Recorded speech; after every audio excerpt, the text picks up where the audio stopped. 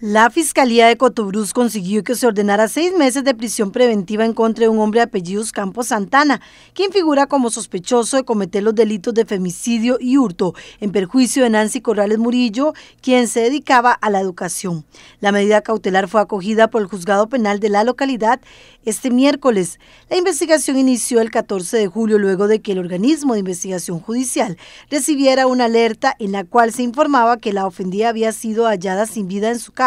en San Rafael de Cotobruz. Tras el abordaje del caso, no se ubicaron lesiones visibles en el cuerpo de esta. Sin embargo, la autopsia arrojó que presentaba una fractura del hueso ioides, la cual le provocó la muerte. Durante las primeras diligencias, la policía judicial determinó que, al parecer, el sospechoso había sustraído el carro, una computadora, el celular y las tarjetas bancarias de la mujer, con quien éste mantenía una relación desde hace dos meses. Sí, bueno, efectivamente, desde que se da la noticia de la muerte de la señora Nancy Murillo, de 45 años de edad, esto en San Vito de Cotobruz, se inicia toda una investigación. Eh, se tiene inicialmente como una muerte de investigación, sin embargo, hace un día aproximadamente nos llega un informe de patología forense indicándose que la muerte es homicida. Esto por cuanto hay una fractura del hueso ioides que se encuentra en la parte de la garganta y esto pues evidentemente eh, significa que existe en apariencia una, eh, una muerte por asfixia mecánica, o sea, un ahorcamiento, en,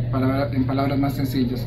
Eh, la investigación inicia, eh, parte del equipo de, OIJ de corredores ubica a este sujeto en la zona de Cañas, se le da parte, se le da aviso al OIJ de Cañas, también a Fuerza Pública en Cañas, ubicar a este sujeto comprando en las inmediaciones de un, de un lugar comercial de la zona y es ahí posteriormente cuando se hace un operativo policial y los compañeros de fuerza pública logran detener a esta persona, quien figura eh, efectivamente como sospechoso de haberle dado muerte a su compañera sentimental, una directora de un centro educativo en San Vito de Cotoros. Con este caso, pues el organismo de investigación judicial mantiene su compromiso inquebrantable con todas las mujeres del país que en los casos en donde se cree que haya un femicidio o una muerte de una mujer a cargo de un hombre que, tenga una relación sentimental o una relación asimétrica de poder, pues mantenemos siempre nuestra convicción de que estos casos los vamos a resolver de manera efectiva, tal y como se ha hecho en, este, en esta situación en la cual pues compañeros de fuerza pública nos colaboraron con la detención de un sujeto que ya lo habíamos ubicado en la zona de Cañas.